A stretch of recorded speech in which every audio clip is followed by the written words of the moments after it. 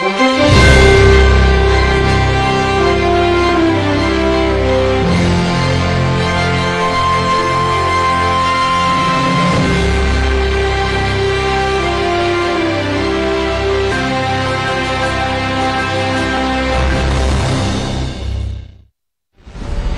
भारतीय वायुसेना विश्व की सबसे बड़ी वायुसेना में से एक है। लगातार बदलती तकनीक और भू राजनीतिक परिस्थितियों के बीच देश की रक्षा से जुड़ी व्यवस्थाओं को सदैव सशक्त बनाना और हर परिस्थिति से निपटने के लिए रणनीतिक क्षमताओं का विस्तार करना आवश्यक है। पिछले आठ सालों में माननीय प्रधानमंत्री श्री नरेंद्र मोदी जी के यशस्वी नेतृत्व में देश की रक्षा क्षमता, रक्षा प्रणाली और रक्षा उत्पादन में हुआ है अभूतपूर्व विस्तार।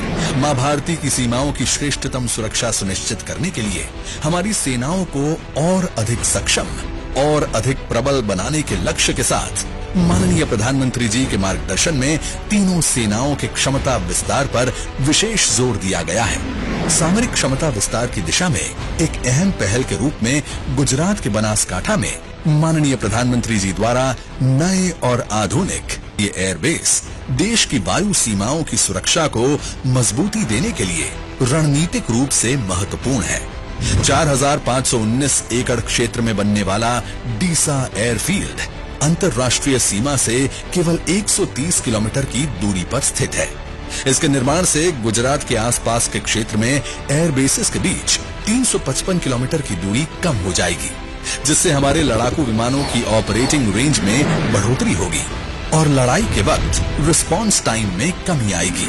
इसके बन जाने से देश की पश्चिमी सीमा पर एक साथ लैंड और सी ऑपरेशन करना संभव होगा। साथ ही अहमदाबाद, वडोदरा जैसे महत्वपूर्ण आर्थिक केंद्रों को मज़बूत एयर डिफेंस मिलेगा। इस एयरबेस से उड़ान योजना के तहत उत्तर गुजरात की एयर कनेक्टिविटी में बढ़ोतरी होगी। डीसा से पूरे क्षेत्र के लिए संभावनाओं के द्वार खुलेंगे। कच्छ में आर्थिक तरक्की के नए मौके बनेंगे। स्थानीय लोगों के लिए रोज़गार के अवसर बढ़ेंगे। इस बेस के निर्माण के प्रथम चरण में हवाई पट्टी, सड़क, समांतर टैक्सी ट्रैक्स और एयरक्राफ्ट रखने की जगह का निर्माण होगा। इस एयरबेस को फास्ट ट्रैक मोड में 21 महीने में तैयार किया जाएगा। डीसा एयरबेस, देश के डिफेंस को मजबूती और गुजरात के डेवलपमेंट को नई गति देने की दिशा में एक नया अध्याय है।